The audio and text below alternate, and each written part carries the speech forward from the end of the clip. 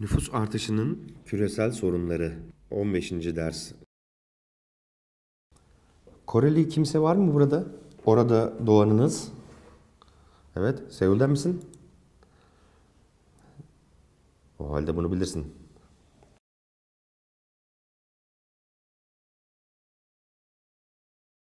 Seul'daki en eski ağacı bilir misin? Hayır, Seul'daki en eski ağaç budur. Bir ginkgo ağacı. 840 yaşında. Bu gerçekten yaşlı bir ağaç ve buranın sakinleri buna saygı gösterir. Bir çeşit kutsal ağaç sayılır ve yılda bir kez buraya meyveler, sunulan başka şeyler getirilir. Ve bunların yanı sıra huzur bulmak için dua edilir. Asıl faydası ise hamile kadınlara erkek çocuk sahibi olmalarında yardımcı olması. Ve bu yüzden çok önemli bir ağaçtır. Bu ağacı biliyor musun? Hayır. Hayır mı? Ama ginkgo ağaçları ve doğurganlık ile alakaları hakkında bir şeyler duydum. Evet, ginkgo ağacı erkek ve dişi cinsiyeti olan nadir ağaçlardan biridir. Ağaçların çoğu çift cinsiyetlidir. Her neyse, görünen o ki bu ağaçla ilgili bir sorun yaşadılar. Çünkü ağacın kökleri yayıldıkça iki tane bina ile temas etmişler. Ve bölge hükümeti binaları yıkmak için 4.3 milyon dolar harcadı. Bu da erkek çocuk tercihinin önemini politik ve kültürel olarak kabul edilebilirliğini gösterir. Dünyadaki çok büyük etkenlerden biri budur. Cinsiyet oranı da çok önemli bir biyolojik faktördür.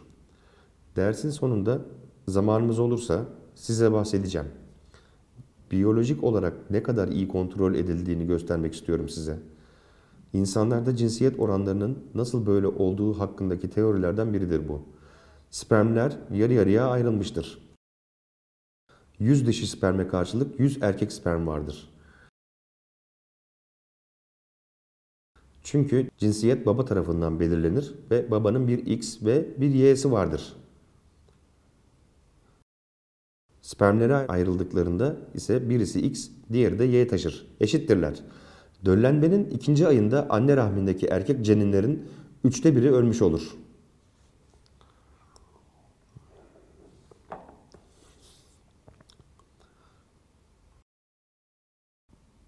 Pardon, dişi ceninler ölmüş olur. Çünkü şimdi çoğunluğu erkektir. Vakit geçtikçe erkek ceninlerde ölmeye başlar. Ve bu süreç bittiğinde doğumdaki oran 106 olur. Ki eğer insanlar bir şeyleri karıştırmıyorlarsa bütün dünyada cinsiyet oranı böyledir. 100 dişi doğumuna karşılık 106 erkek doğar. Bu çok sabit bir rakamdır. Mesela 1969'da Amerika'da 100 kadına karşılık 105.3 erkek dünyaya geldi. 1995'te 0.4 fark ile 104.9'du. Bu rakam gerçekten 105 ve 106 arasından temelde şaşmaz. Çok sabit bir rakamdır.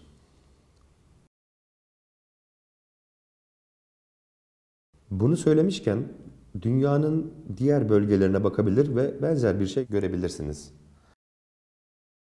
Bu yine cinsiyet oranları ve zamanla baktığınızda 1972'den 1992'ye kadar olan 20 yıllık bir dönemde Japonya'nın birazcık X ile başladığını görürsünüz.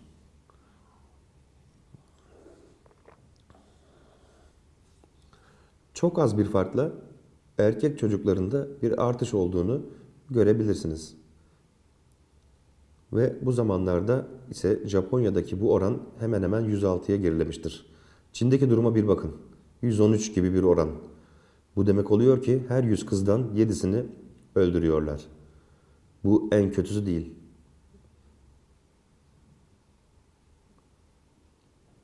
Bunun sebebi sizce nedir? Mitokondri DNA Mitokondri DNA Mitokondri DNA'sı erkek ceninleri öldürmeyi tercih edebilir. Öyleyse sence bu uzun dönemli evrimsel bir şey. Bahsettiği şey Y kromozomunun çok az ve X kromozomunun çok fazla geni olduğudur. Görünüyor ki uzun bir evrim süreci var ve genler Y'de yok ediliyorlar.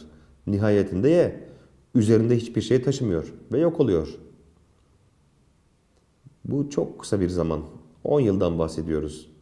Evrim sadece 10 yılda olmaz ama iyi bir düşünce. Tek çocuk politikası ile bir bağlantısı var mı? İnsanlar kız yerine erkek istiyorlar. Çok iyi. En basit yanı bu. Çin'deki tek çocuk politikası. Burasının Çin olduğunu ve tek çocuk politikasını hatırlayın. Öyleyse insanlar bunu duymuştur ve bizim derslerimizden biri de bu konuda olacak. Bu size iyi bir hipotez gibi geliyor mu? Fakat bunu söylemek durumu doğrulamaz. Başka bir şey var mı? Doğumda oluyor. Doğumda oluyor. Bu kadar çok erkek çocuk isteseniz bunu bebeği öldürme yöntemiyle gerçekleştirirsiniz. Ama bunun için doğumu beklemelisiniz. Çok iyi bir fikir. Ne söylediğine bir bakın. Doğumda oluyor.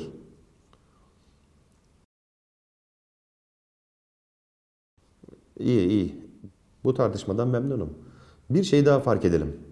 Tek çocuk politikası ne zaman başlar? Bu açıklamalara tekrar döneceğiz. Hepsi çok iyi. Kimse biliyor mu? Tahmin edin 1979-1980 ne zaman başlar? En azından ikinci bir kanıtımız var gibi görünüyor. Bu zamanlar tek çocuk politikası ile örtüşüyor.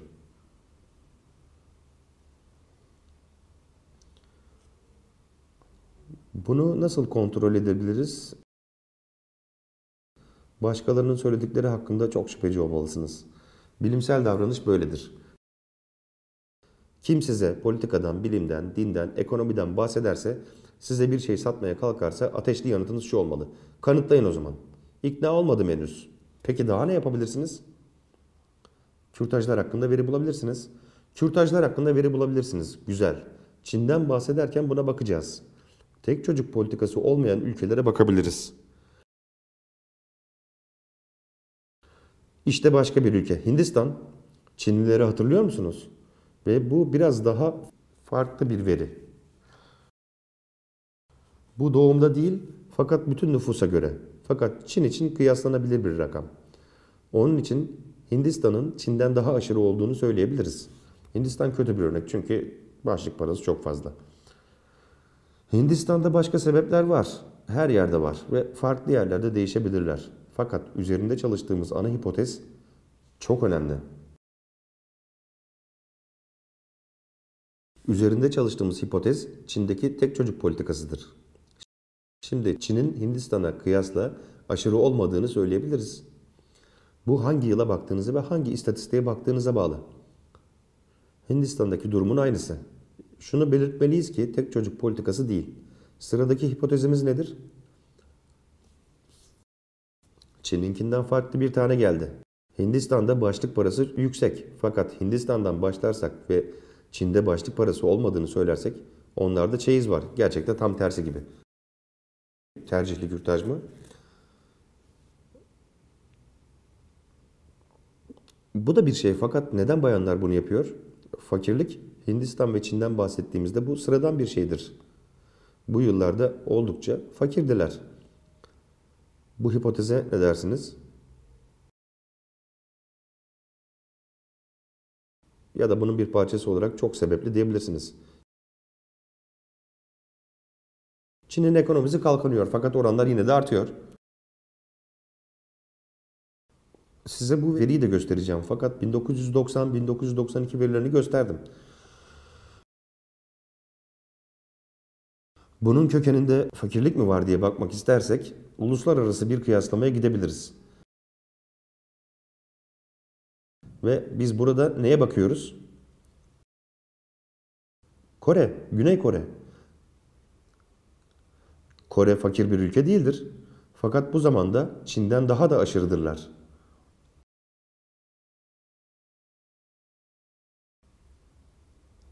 Her bir yer için verebileceğimiz açıklamalarla dolu belirsizlikler var.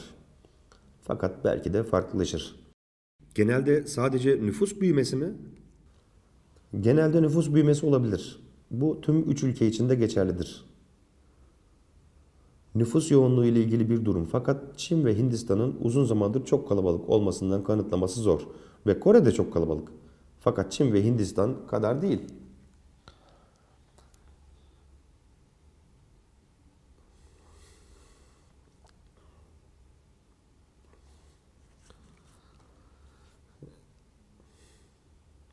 En yüksek cinsiyet oranı Güney Kore'de ve duyduğunuz gibi fakir değil. Ve 2010'la birlikte evlilik yaşında %20'lik bir azalma olacak. %20'lik bir kadın azalması olacak. Fakirlik ise bu ekonomik durum ülkeler arasında uyuşmuyor. Ve baksanız bile her ülkede bölgesel büyük farklılıklar var. Fakat bu ekonomiyle örtüşmeyen bir durumdur.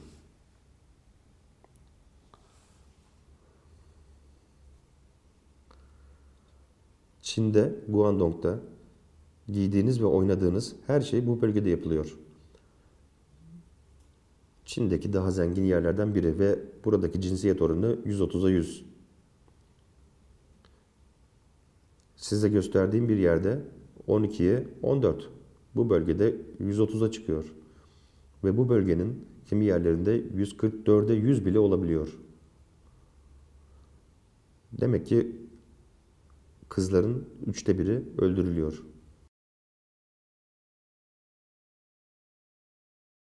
Böyle çarpık oranlı bölgelerde çeyiz ya da başlık parası var mı? Çünkü kadınlar çok az. Hindistan'da veya Çin'de başlık parası yok. Hatırlarsanız başlık parasında erkeğin ailesi kıza veya kızın ailesine bir şey veriyordu. Çeyiz bunun tam tersi ve daha çok Hindistan'da yaygın. Yaygındı. Ve komünistler bundan Çin'deki her zerresinden kurtuldular.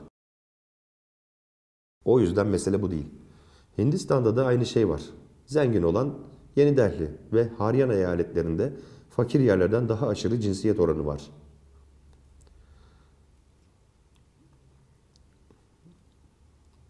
Delhi'de her bin erkeğe 861 kadın var ve zaman geçtikçe bu oran kötüleşiyor.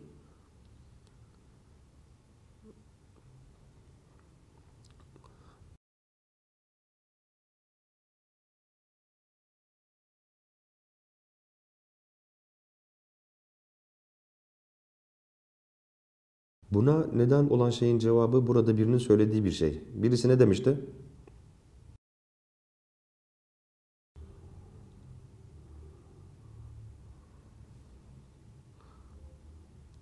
O zaman tek çocuk politikası vardı. Ancak Hindistan, Çin ve Kore'de başka bir şey daha oldu.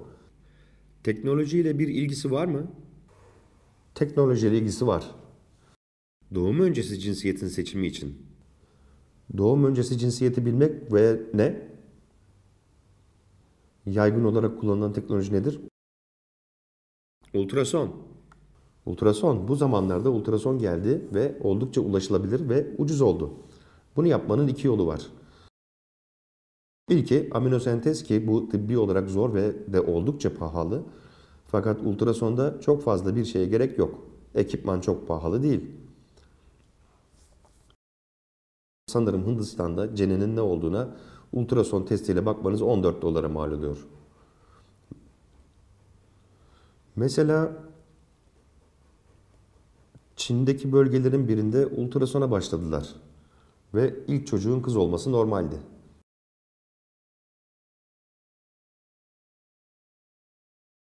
Fakat ikinci çocuk eğer kız ise %92 oranında kürtaj yapılıyordu. Verileri size göstereceğim. Sanırım sizdeki okumalarda Hindistan'dan bahsediyor. Belirli bir hastanede 8000 peş peşe kürtaj var ve 7999'u kız. Bir tanesi erkekti. Ve bu belki de ultrasonun doğru tespit edilememesinden doğan bir hataydı. Olan şey şudur. Hindistan ve Çin'de bu yasa dışı fakat adım başı gidip ultrason yaptırabileceğiniz klinikler vardır. Ultrason tarzı bir şey yaptıranız var mı? Şu kadarcık bir sonda alın ve üzerinizi de gezdirin. Monitördeki ekranda resmi çıksın. Bilirsiniz işte. kalbiniz, ciğerleriniz, bebeğiniz her neyse.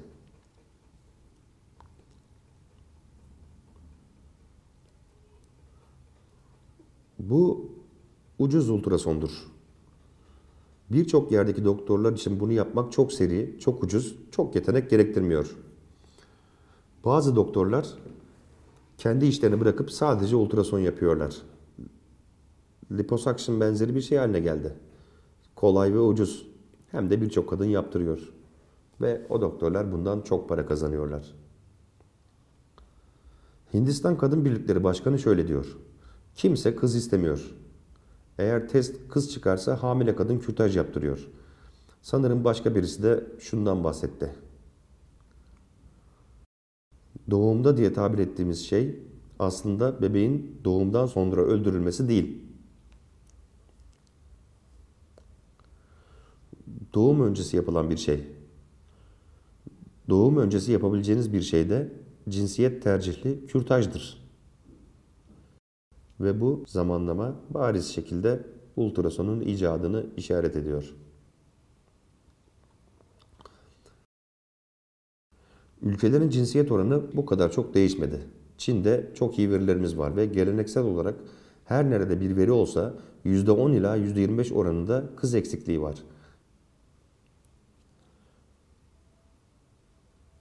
1700'lerin verileri. O zamanlarda bebekleri öldürüyorlardı. Ve şimdi gördüğümüz şey bir yöntem değişikliğidir.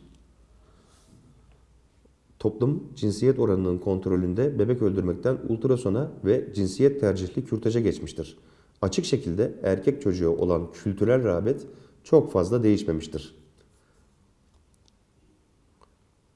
Fakat teknoloji yöntemi ve insanların zihnini değiştirmiştir.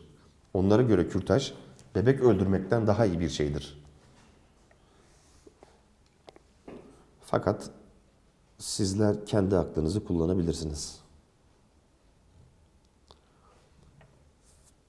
Sorduğunuz sorulara yönelik biraz daha veri göstereyim.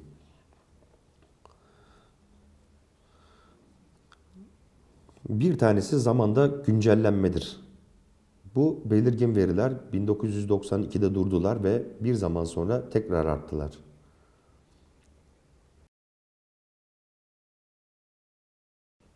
Tekrar Hindistan'da, oradaki 5 eyalette. En yüksek eyaletlerde. Ama yine de zenginlerin olduğu yerlerde, fakirlerin değil. Bunlar tabii ki güneydeki zengin eyaletler. Bunlarda bahsettiğimiz bütün farklı sebepler var. Ve bir sonra buna geleceğiz. Burada 114'lük bir oran görmüştük ve şimdi 129'a çıktı. Fakat yavaşça iyileşiyor. Son yapılan 2006 nüfus sayımında biraz daha iyi çıktı.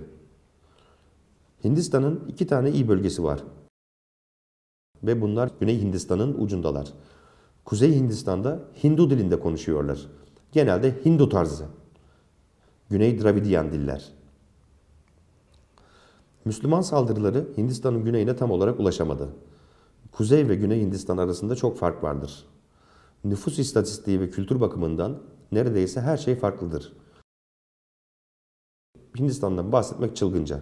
Hindistan'dan bahsedemezsiniz. O kadar çeşitli ki.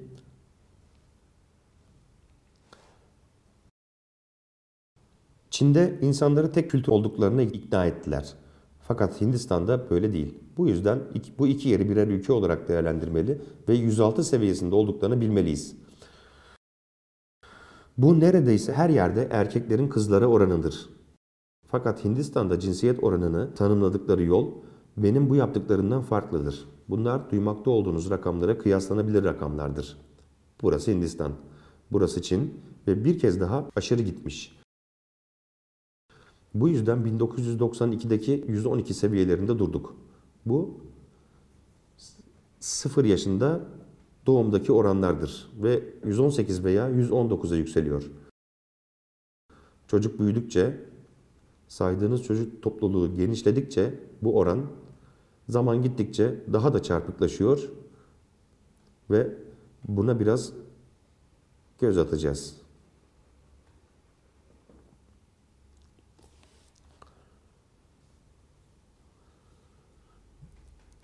Bu konuda çok çeşitlilik söz konusudur.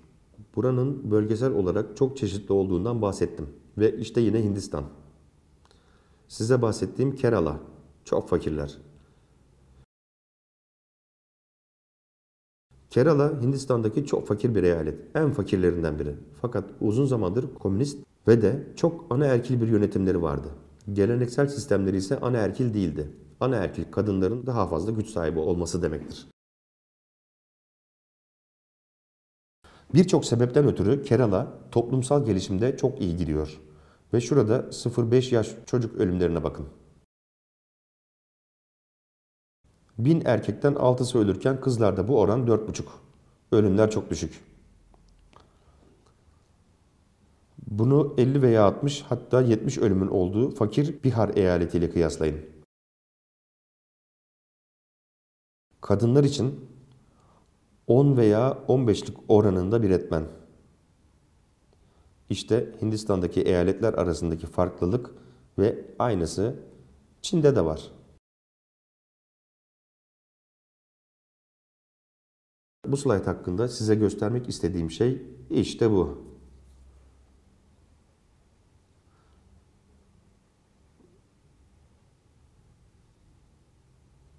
Burası Çin ve tekrar 1982, 1990 ve sonrasında çok farklı cinsiyet oranları var. Yeşil yerler normal oran olan yerler. Hatta kadınlara doğru meyil bile var.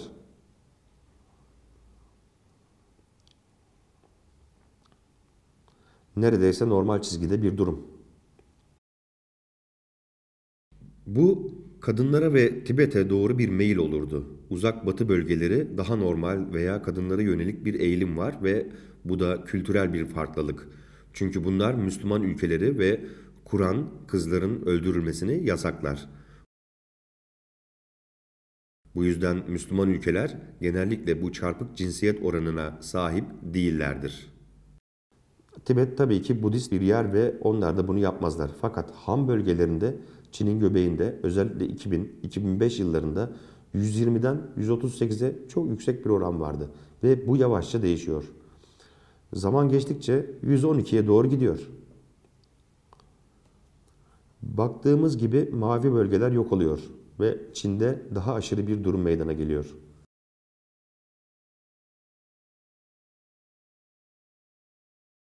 Tekrar bir yer seçebilirsiniz. Kültürel olarak daha homojen bölgelere, düşük rakamlara veya çok yüksek rakamlara bakabilirsiniz.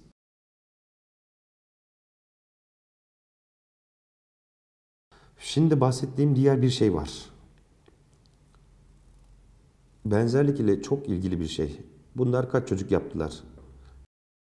Çin'de ilk doğum için 2000 yılına baktığımızda oran 107 ve bu gayet normal fakat 2005 yılındaki son nüfus sayımına baktığımızda ikinci doğumları görüyoruz. Ve burada oran çok fazla artıyor.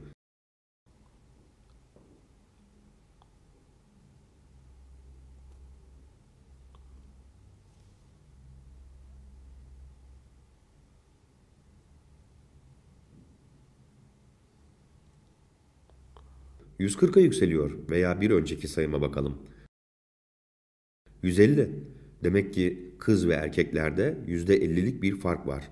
Ve bu aşırılığı tek çocuk politikası tetikliyor çünkü buna izin verilmiyor. Bundan daha sonra bahsedeceğiz. Bu artık doğru değil fakat prensipte sadece bir çocuğa izinleri var. Bu yüzden bu yüksek oranlar var. Ve 3, 4 veya 5 çocukta bu oran kocaman oluyor. Aklınızda bir şey belirmiştir. Bir dakika. Tek çocuk politikası var ama bir çocuk yapıyorlar, iki çocuk yapıyorlar, üç çocuk, dört çocuk, beş çocuk yapıyorlar. Neler oluyor? Bundan bahsedeceğiz.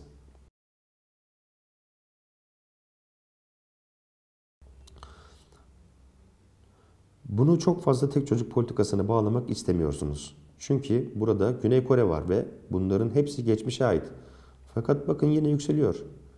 İşte aynı şey. Bu grafikte en son zamanlardaki rakamlara bakıyorsunuz. Ve ilk doğumda oran oldukça normal. İkinci de büyüyor. Üçüncü de Çin'de gördüğümüz her şeyden daha çok büyüyor. Ve dördüncü de 237'nin üzerine çıkıyor. Bir önceki slaytta Çin'de 160 gibi bir rakam görmüştük. Tekrar, Kore'de tek çocuk politikası yok. Yönetimin doğurganlık kontrolü de yok. Fakat yine de Çin'den daha aşırı oranları var.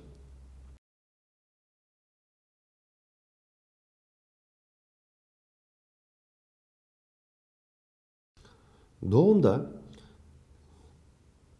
genetik etmen şöyledir. Erkeklerde bir X ve Y kromozomu vardır. Kızlarda da iki tane X vardır. İnsanlar diğer hayvanlar gibi çok sayıda zararlı veya ölümcül mutasyonları taşırlar. Fakat bu sadece bir kromozomdadır.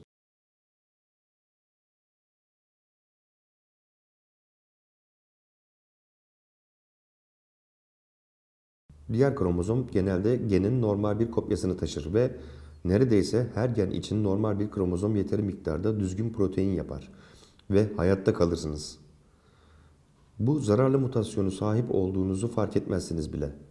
Fakat iki ebeveynden de birer mutasyon gelirse homozigot o zaman kişi hasta olur. Bu cinsiyet kromozomu hariç hepsi için geçerlidir. Bir kadının 2x'i halen vardır. Anne ve babadan kötü gen kopyaları alması içinse gerçekten talihsiz olması gerekir. Bir erkeğin bir x ve bir y'si vardır ve üzerinde hiçbir şey yoktur. O yüzden eğer kötü bir x alırsa hastalanır. Erkekler daha zayıftır. Her 100 kadına karşılık 106 erkek doğması. Zaman geçtikçe erkeklerin ölmesindendir. Çünkü genetik olarak daha zayıftırlar ve sonuçta 100'e kadar düşmüş olur. Neden cinsiyet oluşumu 100 erkek ve 100 kadın olarak sonuçlanıyor? Bunun için iyi evrimsel sebepler var ama buna daha sonra geçebiliriz. Burası Hindistan ve genetik sebepler etrafındaki doğumları görüyorsunuz. Görüyorsunuz ki erkek ölümleri dişilerden daha fazla. Bu erkeklerin genetik zayıflığının bir işaretidir. Bunu eyaletlere ayırdığınızda her bir eyalette 54'e 50 olduğunu görürsünüz. Daha fazla erkek ölümü var. 71'e 68. Pencapların birinde yüksek oranda erkek vardı fakat doğumlarda dişilerden daha çok erkekler ölüyor. Öyleyse bu biyolojik bir olgu. Bu devam ediyor.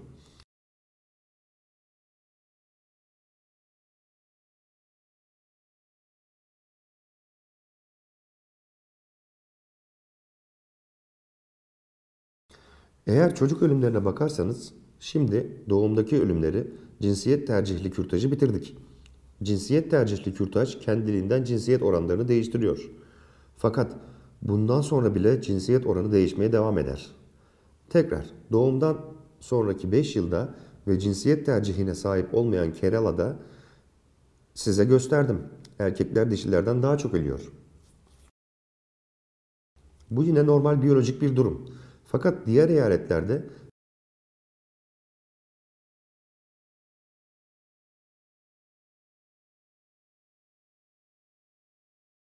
kadınların durumu şöyle. İki buçuk katı kadar, dört katı kadar, bir buçuk katı kadar, iki kereden fazla, yarısı kadar fazlalar. Öyleyse Kerala hariç Hindistan'ın bütün eyaletlerinde doğum sonrası kadın ölümlerinde bir aşırılık var. Bu biyolojiye aykırı bir durum. Peki nedir bu? Aslında bebek öldürmektir fakat çoğunlukla dişilerin ihmal edilmesidir. Daha az yiyecek alırlar, daha az iyi yiyecek alırlar. Hasta olurlar, doktora daha az götürülürler. Eğer ilaca ihtiyaçları varsa onu alamazlar. Bu yüzden doğum sonrası dişilerin sayısında bir azalma var. Bu sorun halen devam ediyor.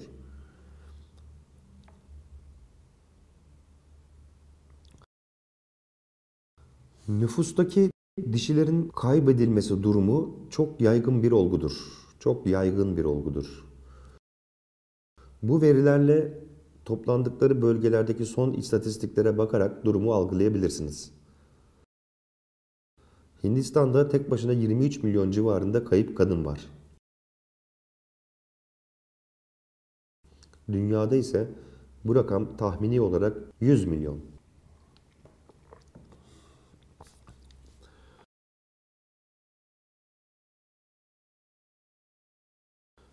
Konuyu daha derinden incelersek insanların cinsiyet tercihli kürtaj yaptığını söyleyebilirdiniz. Fakat insanların Neden bunu yapmak istediği konusuna henüz geçmedik bile. Sadece geleneksel olduğunu söyleyebilirsiniz. Onun doğru, bunun doğru olduğunu söyleyen birçok tartışma duyuyorum. Hindistan'ın ilk ulusal nüfus sayımında 1871'de 98 milyon erkek vardı. Fakat kadınlar sadece 91,5 milyondu. Kadınların zaten %6'sı kayıptı. Halbuki kadınlara karşı ayrımcılık yapmayan bir nüfusta erkeklerin aşamalarda daha zayıf olduğu göz önüne alınarak daha fazla kadın olması gerektiği ve yaşlılıkta aşırı kadın nüfusu olması beklenir. Fakat 1871'de Hindistan'da oldukça farklı bir durum vardı. Bu Çin'den Hindistan'a ve İngiltere'ye giden birinden 19. yüzyıla ait bir seyahatname. Bir şeyler gözlemlemiş ve geri geldiğinde Çinliler için bunu yazmış. İşte size bundan bir alıntı. İngiltere insan kıtlığı çekiyor ve doğan her çocuğu büyütüyorlar. Çocuk doğuran fahişeler bile çocuklarını yok etmiyor. İngiltere dünyada çok baskın bir güçtü ve afyon savaşları ile Çin'e saldırıyorlardı. İmparator dahil herkesin ilgisi İngiltere'nin nasıl bir yer olduğuna, nasıl bu kadar güçlü olduklarına, neyin farklı olduğuna dairdi. Ve bu yüzden imparator bunu okuduğunda tepkisi İngilizlerin bu kadar aptal olduğuna inanamamasıydı. Yine de bütün çocukları büyütme kültürü, özellikle de kızların büyütülmesi olayı burada olmuyordu. Okuma paketinizde neredeyse hiç kız olmayan 1830'ların Hindistan köyleri tartışılıyor. Bütün kızları öldürüyorlardı. 1921 Somerset Maugham Bu isim bir şey çağrıştırıyor mu? Ünlü bir yazardı. Çok sayıda roman yazdı. Film yıldızlarıyla çok sayıda film. Çok ünlü bir yazardı. 1921'de Çin'de geziniyordu ve bir tepede küçük bir kuleye rast geldi. Kulenin duvarında küçük bir delik vardı. Delikten rezalet bir koku geliyordu. Ve yanındaki Çinli rehbere bunun ne olduğunu sordu. Kendisi foseptik falan zannediyordu. Hayır, bu bir bebek kulesiydi ve içinde bir kuyu yer alıyordu. İnsanlar fazlalık kızlarını getirip buraya atıyorlardı. Fakat arada erkekler de vardı. Bir küçük çocuk çıka geldi ve sabah buraya dört bebeğin atıldığını söyledi. Bu satırlar bebeğin cinsiyetini tartışmıyordu. Çünkü zaten orada olduğunu bilmiyordu. Kız çocuğu burada bir mesuliyet olarak görülür. Kırsal kesimlerde kadınlar insan olarak bile görülmezler.''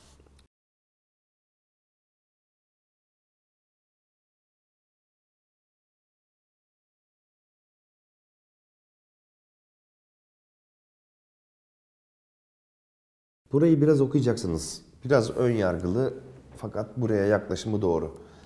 Geleneksel olarak kızlara pek isim verilmez. Birinci kız, ikinci kız, üçüncü kız tarzında isimler verilir.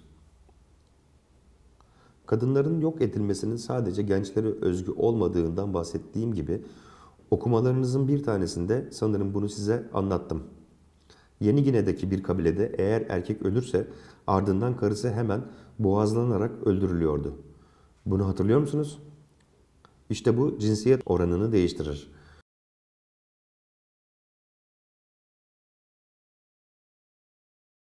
Hindistan'da bunun farklı bir türü olan sati vardı. Sati ya da suti. Duydunuz mu? Bazen kadınlar kendilerini kocalarının mezarına atar ve kocasıyla beraber kendini öldürürlerdi. Kemp adında İngiliz bir kaptan 1813'te bir olaya tanıklık ediyor. Visvanatha denen bir adam kısa bir süre hasta olmuştu. Bir astrolog onun ölümünün eşiğinde olduğunu söyledi ve bu yüzden o son nefesini vermesi için kutsal Ganj nehrinin kenarına getirildi. Bir süre beline kadar suya batırıldı. Fakat ölmedi. Onu sahile geri getirdiler ve güneşte kavrulmaya bıraktılar. Sonradan yine nehre soktular. Ölmedi. Tekrar sahile çıkarıldı.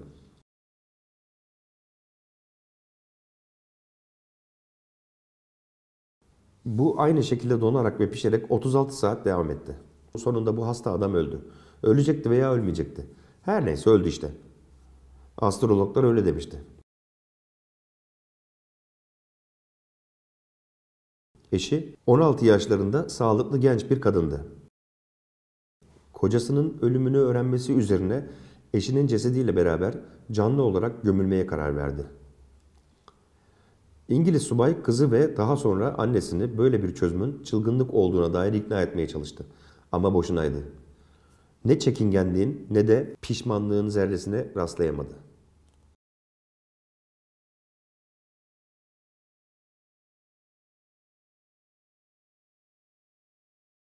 Genç dul arkadaşlarının eşliğinde cesedin yattığı sahile doğru ilerledi. Kocası bir buçuk metre derinliğinde bir mezara konuldu. Kadın mezarı Tanrı'ya selam olsun diye haykırarak yedi kez tavaf etti. Etraftaki kalabalık ilahisine eşlik etti. Kadın mezara indi.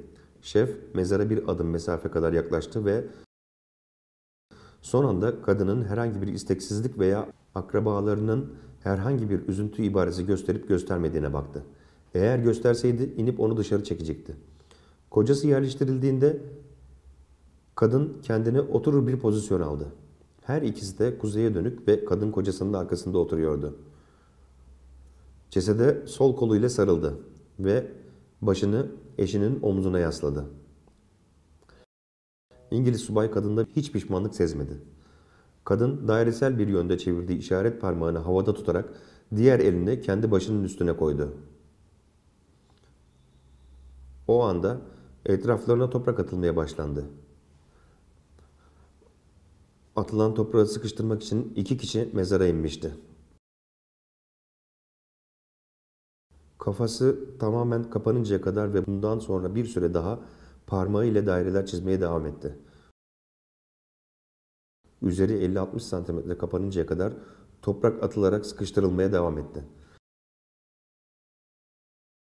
Yakınlarının hiçbiri tarafından gözyaşı dökülmedi. Sonunda kalabalık dağıldı ve dini ağıtlarla uğultular başladı. Fakat üzüntü yoktu. Bu çok önceleriydi. Ancak şimdilerde varsa bile nadiren görülür. 10 yıl önce köylerin birinde bunu yapan bir kadın hakkında bir rapor geldi. Ve bu Hindistan'da yasa dışı. Bu yüzden istatistik elde etmek çok zor. Fakat çok nadiren oluyor ve kendisini kocasının mezarında öldüren bu kadının bir erdem abidesi ya da azize gibi bir şey olduğu düşünülüyor. Çünkü eski dini gelenekleri izliyordu ve köylüler bundan memnundu. Çünkü çok sayıda turist geliyordu ve bu azizeye bir bayan gibi hürmet ediyorlardı. Ve turistlerden para kazanıyorlardı. Fakat bu çok nadir bir durum. Tabii ki de bu cinsiyet tercihli işler sadece Asya ile sınırlı değil. Los Angeles'taki Hispanik kadınları araştırdılar. 2.8 oranında erkek çocuk, 0.1 oranında kız istiyorlar. Arada 28 kat fark var. 1991'de Körfez Savaşı'ndan önce Kuveyt'te hepinizin bildiği Barbara Walters Kuveyt'teki cinsiyet rolleri üzerine bir hikaye yaptı. Evet, Körfez Savaşı'nda o oradaydı ve kadınların geleneksel olarak kocalarından 10 adım geride yürüdüğünü not etti. Bu birçok yerde oluyordu ki kadınların saygı ve bağlılıklarının güçlü bir işareti olarak değerlendiriliyor. Koca eşsiz yürüyor ve karısı onu 10 adım arkadan takip ediyor. Bu geleneği duymuşsunuzdur. Savaş olur ve Irak yenilir. Savaştan sonra başka bir hikaye daha yapmak için Kuveyt'e geri gelir. Şimdi çok memnundur. Çünkü artık erkekler kadınların arkasından yürüyordur. Kadınlar öndedir ve erkekler kadınların arkasından yürüyordur. Kadınlar öndedir ve Barbara bunun mükemmel bir gelişme olduğunu söyler. Bu Amerikan modelidir ve orada tutulmaya başlamıştır. Bir kadına yaklaşır ve kameralar çekerken ona bu mükemmel, özgür dünyaya kadınların bu rol değişimini nasıl başardığını söyleyebilir misin? der. Kuvvetli kadın da toprak mayınları der. Öyleyse bu pek de o kadar bir rol değişimi değildi. Sanırım tüm bunları anlıyorsunuz.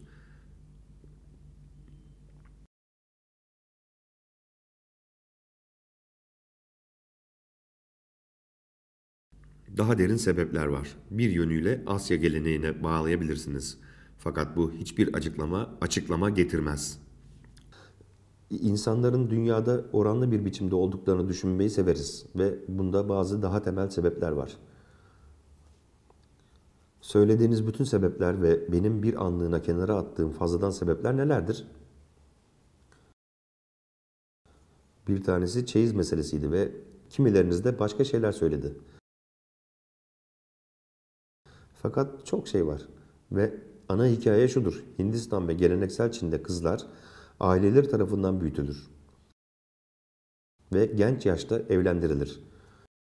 Kocasının ailesinin evine gönderilir ve orada çalışır. Genelde çok fazla çalışır ve ailenin hizmetçisi gibidir.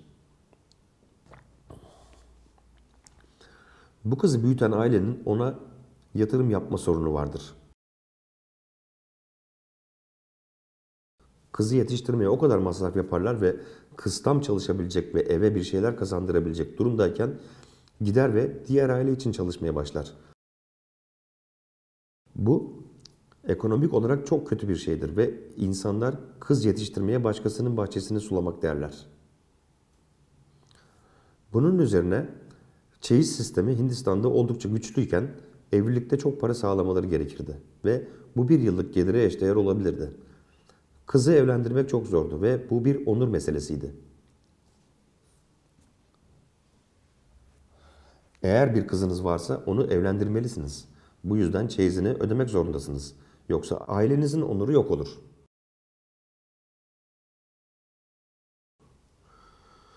Kızların tam sizin işinize yarayacakken evden ayrılmaları fikri neden kızlara karşı bir ayrımcılık olduğunun mantıksal oyuncu teorisi gibidir. Bu açıklananlar sizde bir şey uyandırdı mı? Neden böyle?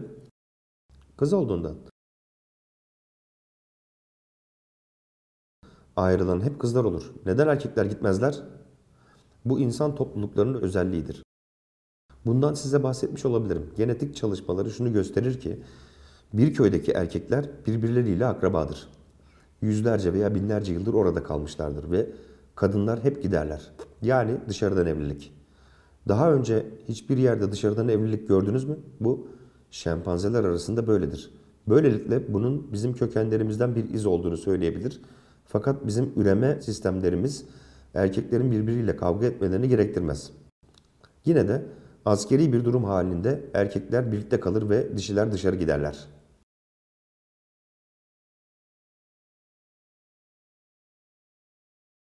Buna yol açan şeye en basit haliyle şempanze toplumsal organizasyonu diyebilirsiniz. Kadınlar dışarı gider ve bu yüzden kızların onları yetiştiren aileleri için bir değeri yoktur. Ve onlara karşı ayrımcılık vardır. Erkekler birlikte kalır ve şiddete karşı korumaları gereken bir köyleri vardır. Bazı yerlerde bir kabile ya da toplumsal bir sınıf vardır. Hindistan'daki adıyla onlara Nayar derler ve çok savaşçıdırlar. Çok genç evlenirler fakat kadınlarıyla bir gece geçirir ya da geçirmezler. Ondan sonra askere giderler. Bu sırada kadın her türlü cinsel ilişkiye girer ve bu çok normal ve yasaldır. Kadınlar büyük bir evde yaşar. Okuduğunuz Na kabilesinde olduğu gibidirler. Ana erkil bir toplumdurlar. Üst sınıf erkekler bu kadınlarla uyumaya davet edilirler. Ve onlar için bebek doğururlar ve erkekler 15 ya da 20 yıl askerlikten sonra eve dönerler ve ancak o zaman evlilikleri başlamış olur. Ve şu da çok bariz, bu belirgin kültürel beyannamede kadınların nasıl devam ettirici, erkeklerin de asker oldukları çok barizdir. Ve şempanzelerdeki gibi biyolojik babanın kim olduğunun da çok da bir önemi yoktur.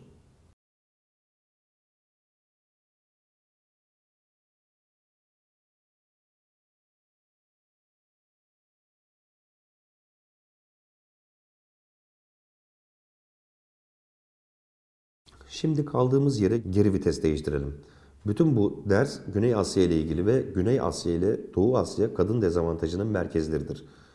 Fakat bu Güney Asya'nın tamamı için geçerli değildir. Bahsettiğim gibi Müslüman ülkelerde bunlar pek olmaz. Sırada iki yer hakkında konuşacağız. Biri Iowa ve diğerini birazdan söyleyeceğim. Iowa zengin bir yerdir değil mi? Ne ile zengin? Tarım, mısır.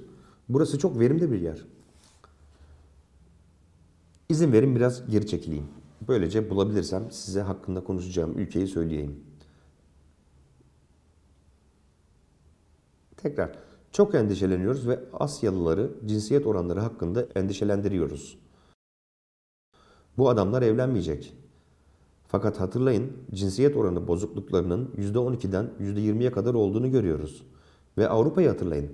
Birçok yerde sadece insanların %30'u, %40'ı, %50'sinin evlendiğini size slayttan gösterdim. Demek ki evlilikteki dengesizlik Avrupa'da yüzlerce yıl Asya'da olduğundan daha şiddetliydi. Avrupa'daki evlilik meselesi ve toplumsal sistem Asya'daki kadın dezavantajından daha aşırı bir durumdaydı. Bu harika bir slide değil fakat burası Bangladeş. Bangladeş'te ne var? Himalaya dağları ve işte Çin, Nepal, Bangladeş de orada. Hindistan burada ve burada gördüğünüz ise Bengal Körfezi. Burası da Himalayalardan gelen Ganj Nehri. Himalayalar tüm buralara yayılır ve Ganj Batı Himalayalardan gelir. Brahmaputra ise doğru Himalayalardan gelir. Bangladeş'te çok akarsu var ve burası komple bir delta. Burayı görüyor musunuz? Jeolojik zamanlardan beri nehir akmakta ve burası bir delta. Bu bir deltanın tam olarak neye benzediğidir. Sizdeki okumalarda bu yerin ne kadar kötü olduğundan, insanların buraya taşınıp üzerinde çiftçilik yaptığından ve elbette sonrasında gelgitlerle beraber suların yükselmesi ve oradan çıkarıldıklarından bahsediyor. Böyle bir okumanız olacak. Bu yüzden okurken bu resmi aklınızda tutun. Şimdi de tarım üzerine olan hikayeye geçelim. Bangladeşli insanlara Bengali denir.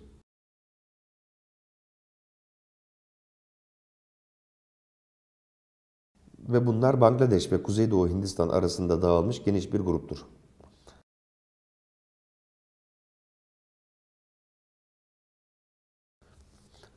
Kalküta başkentleridir. Bangladeş'in de başkenti Dhakka'dır. Kalküta'da Hindistan'ın bir parçası olan Batı Bengal'in başkentidir. Bangladeş çok homojen bir ülkedir. Pakistan, Hindistan ve Bangladeş bunlar eski İngiliz otoritesini oluşturuyordu. %98'i Bengalidir.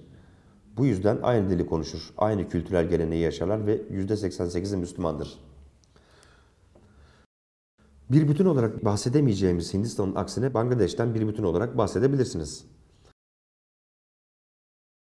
Bengal dünyanın çok zengin bir bölgesidir. Afganistan'dan Müslüman işgalci Moğollar buraya 13. yüzyıldan beri hükmettiler. Kuzey Hindistan'ı fethettiler.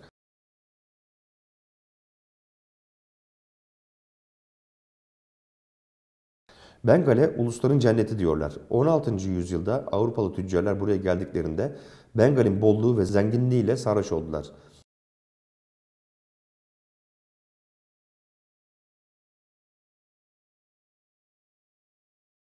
Neden bu kadar zengindi? Iowa ile kıyaslamak istiyorum.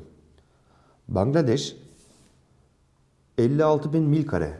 Iowa ne kadar tahmin edin. O da 56 bin mil kare. Hemen hemen aynı ölçüdeler. Ve her ikisi de temelde tarıma dayalı.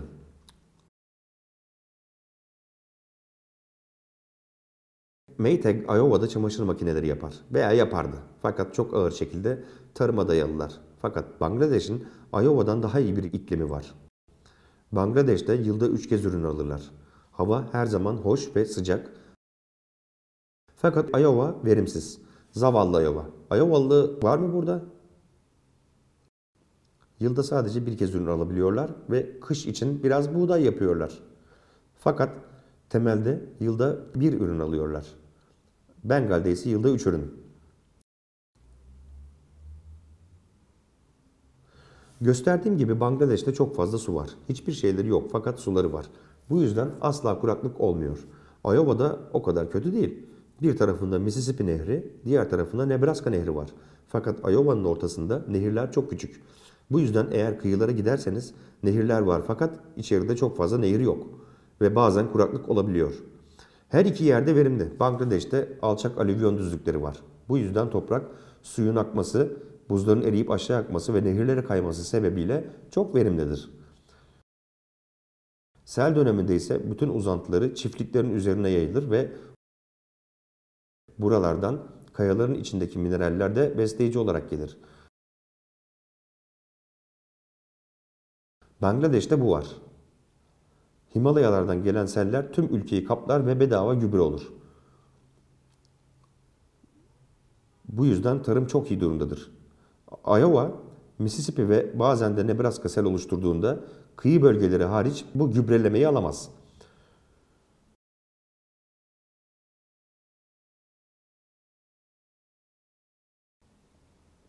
Bu yüzden ülkenin iç kısımlarındakiler gidip gübreyi satın alırlar. Tüm bu coğrafi ve iklim etkileri göz önüne alındığında Bangladeş, Iowa'dan daha zengin olmalıdır. Yılda 3 ürün almayı tek ürün almayla kıyaslarsak 3 kat daha zengin olur.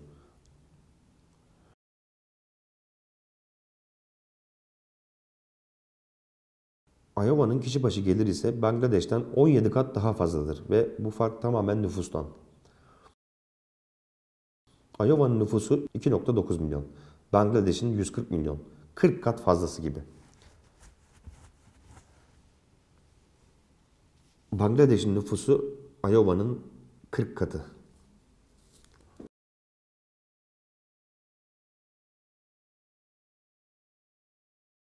Dünyadaki diğer yerleri kıyaslayın. İşte birkaç yer. Bangladeş açık ara herkesin önünde. Hollanda ikinci en kalabalık yer olarak görülür ve orası da tarıma dayalıdır. Fakat bunların ikisinde de büyük dağlar veya çöller yoktur. Onun için Hollanda temelde verimlidir. Ve Bangladeş'in zaten tamamı öyledir. Fakat nüfus yoğunluklarındaki farka bakın ve her yerin bu iki yerden daha az kalabalık olduğunu görün. Bahsettiğim üzere bildiğiniz gibi Bangladeş'in geliri aşırı şekilde az. Burası dünyanın en fakir ülkelerinden biri ve tahminlere göre nüfusu ikiye katlanabilir. Bangladeş'teki durumu iyileştirmek çok zor olacak.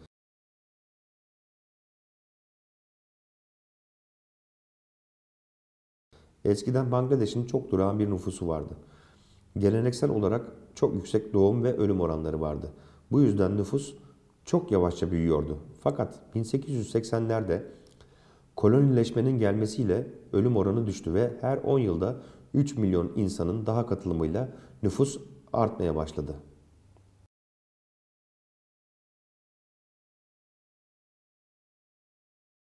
Iowa büyüklüğünde bir ülkede fazladan 3 milyon insan ne yapar? Çok küçük değil, büyük bir rakam. Bangladeş'te biraz yağmur ormanı vardı. Bunu yok ettiler ve çiftçilik yapmaya başladılar. 1930'ların sonlarında bu orman tamamen yok olmuştu. 1938'de Bengalili Biren Ganguly şöyle yazdı. Bu toprağın tarım için uygun olan her zerresi, her karesi zaten kullanılmış. Her patikanın ya da hayvan yolunun her iki tarafı da ancak iki insan geçecek kadar daraltılmış.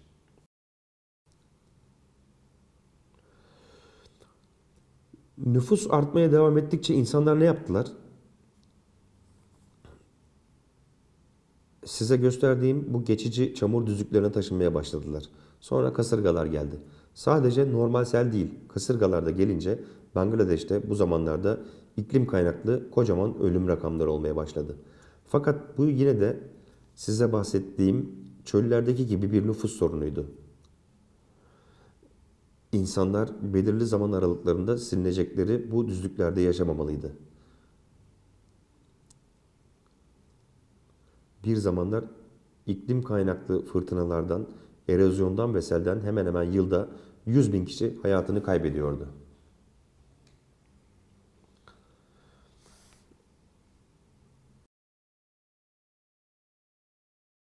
Bengal'deki nüfusun artması endüstri değil de tarım üretiminde dünyadaki zengin yerlerden biriken işe yaramaz hale gelmesi 60 yıl kadar bir zaman diliminde gerçekleşti.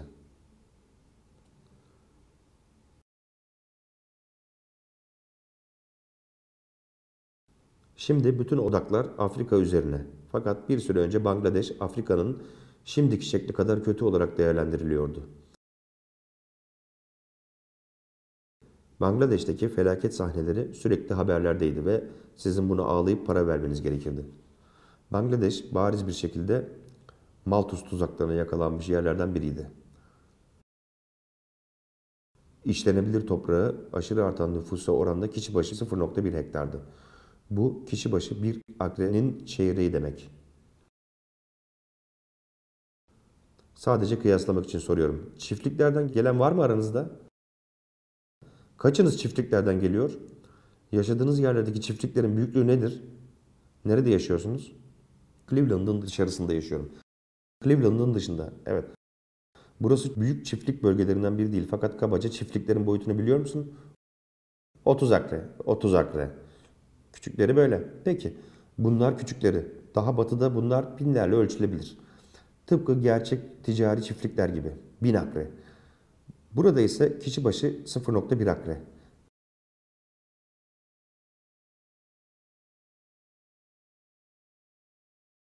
Eskiden New Haven'ın dışında kuzeybatıda Bentany'de yaşardım ve evimiz 3 akre alan içinde yer alırdı. Geçimimi oradan sağlamak zorunda değildim. Sadece üzerinde bir ev vardı. Eğer bir eviniz varsa 3 akrede toprağınız olmalı ki bu durum Bangladeş'te olsa 3 akre üzerinde 30 aile yaşayacaktı. 1950'ler ve 60'lardan başlayan bu işaretlerin hepsi Bangladeş'in ileride doğurganlığı kısıtlayıcı önlemlere hayranlık duyulabilecek bir ülke olmayacağını gösteriyordu. Söylediğim gibi hepsi Müslümandı ve muhafazakar İslam modeline sahipti. Bebek ve çocuk ölümü oranları yüksekti. Çocukların %25'i 5 yaşından önce ölüyordu. Fakat bu ölümler size gösterdiğim gibi 20 yıldır yavaşça azalmaktaydı. Oradaki kadınların çok düşük toplumsal statüleri vardı. Birçoğu evin dışındayken görünmemek için peçe takmak zorundaydı. Fakat genelde aileden bir erkek eşliğinde olmadan evden dışarı çıkamazlardı. Erkekler kadınlara eziyet etmekte özgürdü.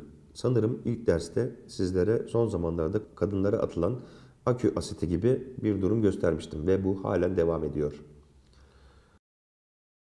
İnsanların çocuk istemesinin nedenlerinden birinin onlara yaşlılıklarında bakacak olmaları olduğundan en son size bahsetmiştim. Ve elbette Bangladeş de çok fakirdi. Toplumsal güvenlikleri yoktu. Bu yüzden aileler yaşlılıklarında çocuklarına muhtaçtı.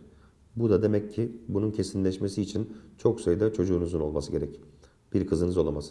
Size bakabilecek birinin olması için bir oğlunuzun olması şart. Şimdi bahsedeceğim şeyler Bangladeş'te zamanla yaşanan felaketler. Bir tanesi oldukça çok meşhur. 1943 Bengal'de açlık. Zaten sınırda yaşıyorlardı ve ardından 2. Dünya Savaşı olur. Çeşitli şeylerden sonra 2,5 milyon insan açlıktan ölür.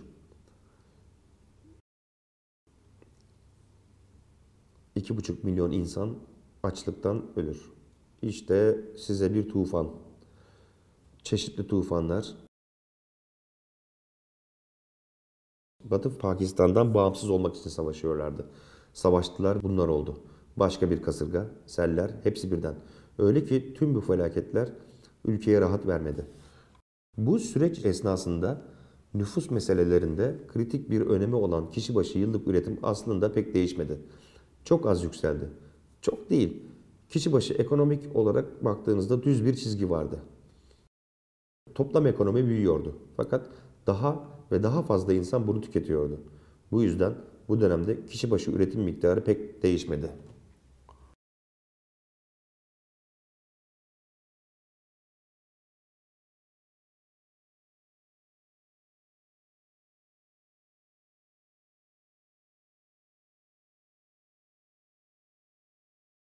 Gerçekleşen şey Hindistan, Pakistan ve Bangladeş'in nüfus meseleleri ve Malthus'un fikirleri hakkında farkındalık yaşamış olmalarıydı.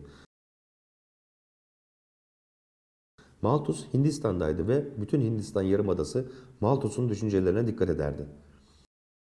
İngilizler onların memurlarına eğitmişlerdi ve bağımsızlık kazandıklarında bunlar aynı insanlardı. Yani bu durum memurların akıllarındaydı. Aslında Güney Asya'da temelde Hindistan ve Pakistan aile planlama programlarını kuran ilk ülkelerden bazılarıydı. Pakistan'da yapılan pek başarılı değildi fakat Hindistan'daki şimdilerde daha iyi bir durumda. Ama başlangıçta böyle değildi. Bağımsızlık savaşından sonra Bangladeş'in Batı Pakistan'dan ayrılmasıyla hükümet bu sorunların cidden farkına vardı. Malthus gibi davrandı ve nüfusu kontrol etmek için bir şeyler yapmaları gerektiğine karar verdiler. Hükümet tüm ülke için bir aile planlama programı kurdu ve destekledi. Uluslararası kuruluşlar şöyle dedi. Tamam, bunu yapmak istiyorsanız size yardım edeceğiz. Özellikle Uluslararası Amel Araştırma Kuruluşu adında bir grup var ve bunlar ağızdan alınan su açığını giderici ambalajları keşfettiler.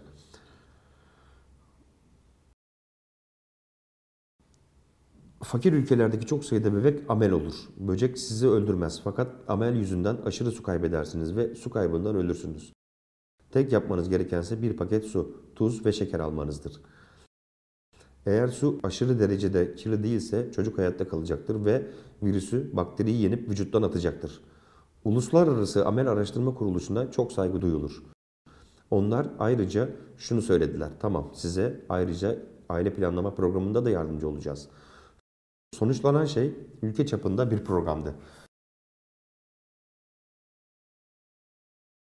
1970'lerden bahsederken aynı zamanda gelişmiş dünyanın çoğu şu fikri edindiler.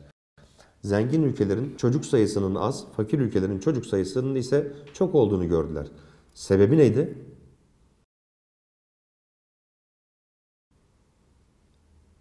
Elbette ki paraydı. Zengin olduğunuzda az çocuk yaparsınız. Bu çok ilginç olgu hakkında bir ders yapacağız. Birçok gelişmekte olan ülke ve Doğu Avrupa ülkeleri ekonomilerini geliştirme yolu olarak aile planlama fikrini reddettiler. Ve şöyle dediler. Gelişmemişlik en iyi doğum kontrolüdür. Kural buydu. Bangladeş gibi fakir bir yerde tüm bahsettiğimiz bu nedenlerden dolayı doğurganlık oranı düşecek miydi? Fakat ülkeyi ekonomik olarak geliştirdiyseniz doğal olarak düşecekti ve yönetimin buna karışmasına, aile planlama programı yapmasına gerek yok. Herkes gayretli bir şekilde Bangladeş'in istediği şeyi ekonomik olarak gelişene kadar aile planlama programlarıyla yapabileceğini tahmin etti. Yoksa bir ilerleme olmazdı.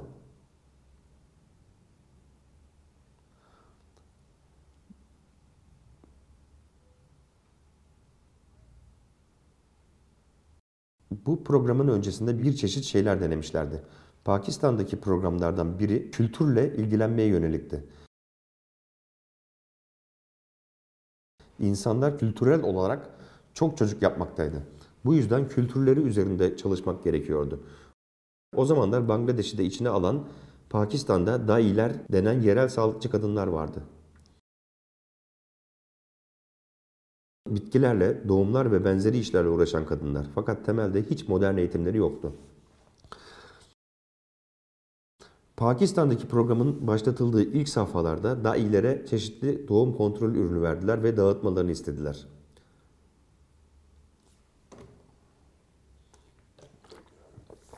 İşe yaramadı. Neden? Dailerin kendileri genelde doğum kontrolü kullanmayan yaşlı kadınlardı ve ahlaki olmadığını, işe yaramayacağını, her türlü aksi fikri düşünüyorlardı. Yani birisi size kendisi dahi inanmadığı bir şeyi satmaya çalışıyorsa bunu genelde kabul etmezsiniz. Ayrıca ekonomik olarak devletten bu doğum kontrolü araçlarını satmaları karşılığında çok kazanmıyorlardı. Yaptırdıkları doğumlardan daha çok alıyorlardı.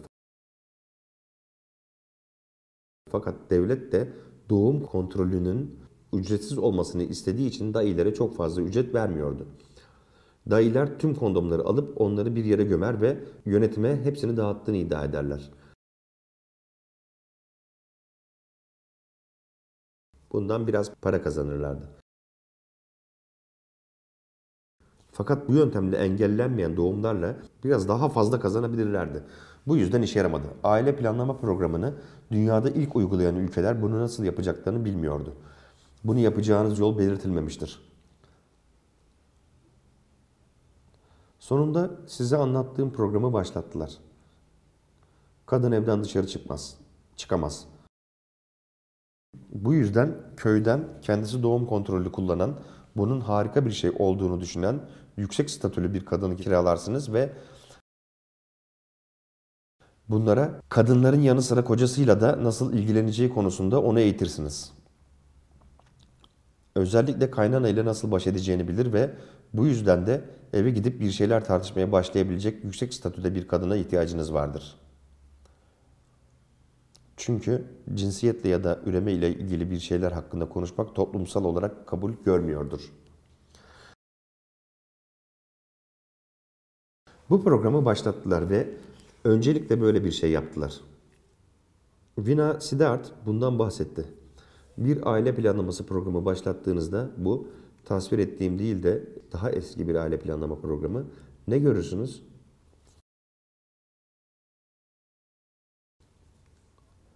Bangladeş'te Matlab diye bir bölge vardı ve burada bazı köyleri seçtiler.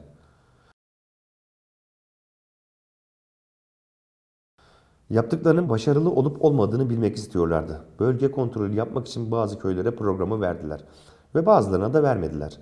İşte burada 1977'ye kadar olan zamanda hiçbir şey yapılmayan yerlerin karşılaştırması var. Yönetimin küçük bir programı vardı. Fakat pek bir şey olmuyordu. Ve burada Uluslararası Amel Araştırma Kuruluşu daha yeni bir programla devreye girer. Size gösterdiğim değil ve ne olur? Harika başarı gösterir ve hoplayıp zıplarlar.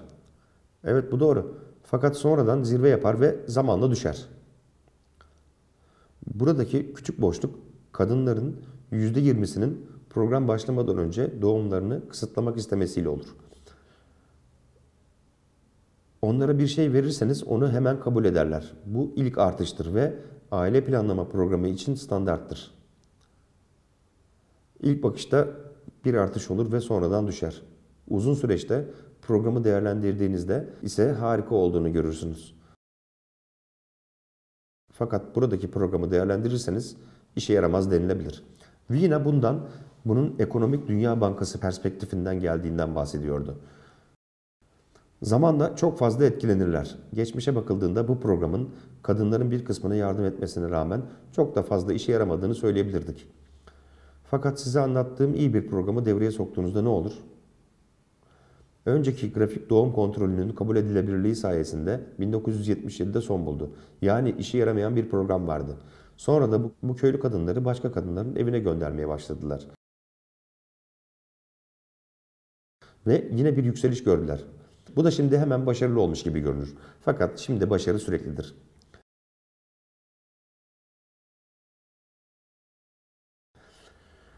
Bu sırada modernleşme olur ve bu kıyaslanan bölgelerin aslında tedavi bölgeleriyle birleştiği toplumsal bir yayılma olur.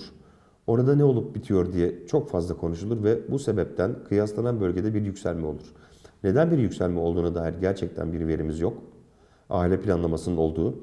Tayvan hakkındaki okumalarınızın birinde buna benzer bir durum var. Mesele şu ki onlarda aile planlaması programının olduğu köylere ait bazı veriler vardı. Ve bu çevre köylerde duyulur duyulmaz insanlar tedavi bölgesine geldiler. Böylece doğurganlık düştü. Bunun arkasından etmenlerden biri açık şekilde aile planlaması fikrinin yayılmasıdır.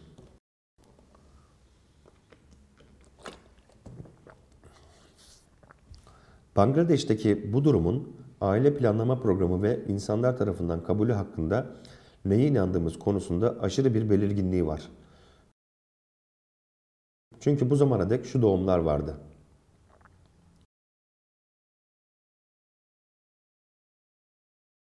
İnsanların doğurganlığı kısıtlamak istemeden önce ekonomik olarak geliştirmek zorundasınız. Eğitim derecenizin yüksek olması gerek ve kadın statüsünün bir seviyesi olması gerek. Ama sonra iyi düşünülmüş ve yürütülmüş bir programda Bangladeş'e gidiyorsunuz ve işe yarıyor.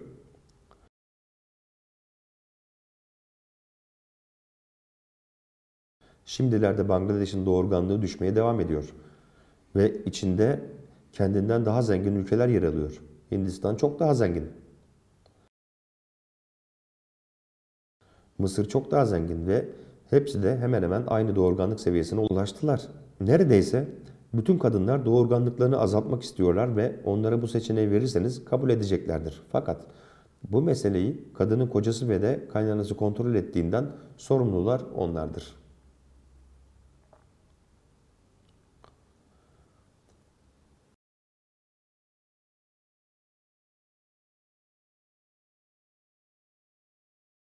Bu yolda başka yerlerde başka dersler öğrendiler. Kapı komşu Hindistan'ın Gandhi etkisinden dolayı çok güçlü bir merkezi hükümeti vardı. Gandhi, Hindistan'daki tüm etnik grupların ulusal kahramanıydı. Bu yüzden yönetim güçlüydü. Nehru ve kızı Bayan Gandhi de çok güçlüydü. Malthus etkisi altında batılılaşmışlardı ve bir aile planlama programına ihtiyaçları olduğuna da karar vermişlerdi. Hindistan'ın kararı bundan bile önceydi fakat nasıl yapacaklarını bilmedikleri için teşvik kullanmaya karar verdiler. Ne zaman bir ekonomiyle ilgili bir ders alırsanız ekonomistlerin bize söylediği şudur. İnsanlar dürtülere tepki verirler ve bu yüzden insanların aile planlamasını alması için teşvik kullanmaya karar verdiler.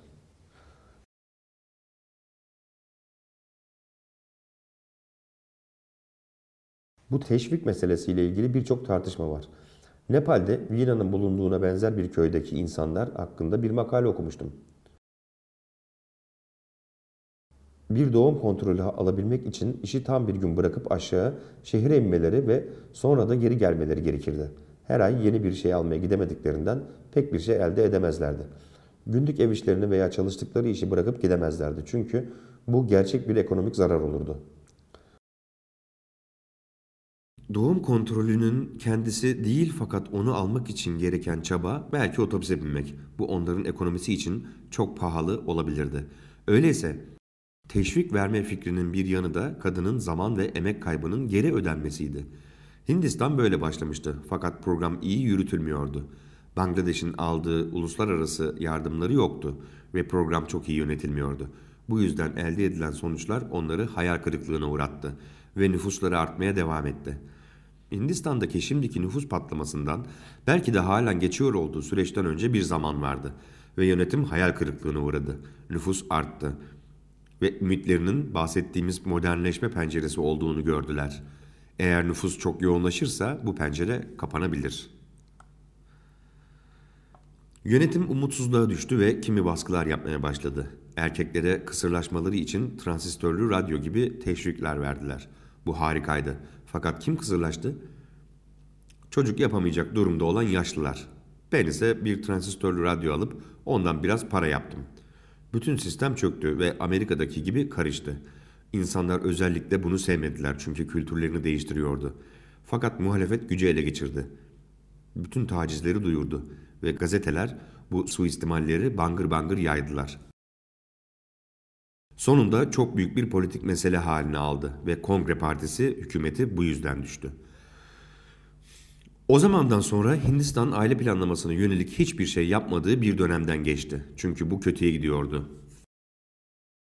Şimdi tekrar başlamışlardı ve işler daha iyi gidiyordu. Sanırım buranın hikayesi şöyle. Bangladeş deneyinin şimdiye kadar süregelen döneminde mevcut olan sadece zengin ülkelerin doğurganlık oranlarını düşürebileceği fikri açıkçası yanlıştı. Bir doğurganlık geçişi Asya'da gerçekleşirken bu fakir ülkelerde olan biteni görmek çok şaşırtıcıydı.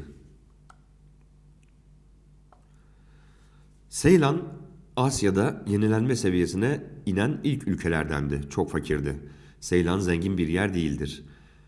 Hindistan'ın en fakir yerlerinden biri olan Kerala'da yenilenme seviyesindeydi.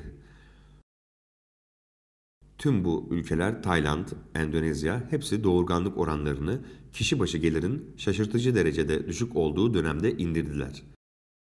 Gelir açıkçası çok önemli, bunu göz ardı etmek istemezsiniz. Çok paranız varsa bir şeylerin daha kolay olduğu kusursuz bir şekilde açıktır. Ve zengin insanların neden daha az çocuğu olduğunun sebepleri vardır. Buna daha sonra bakacağız fakat şimdiden çok gerekli bir şey değil.'' Bunu göreceğiz. İyi tatiller, eğlenin ve tazelenmiş olarak geri gelin. Sonra görüşeceğiz.''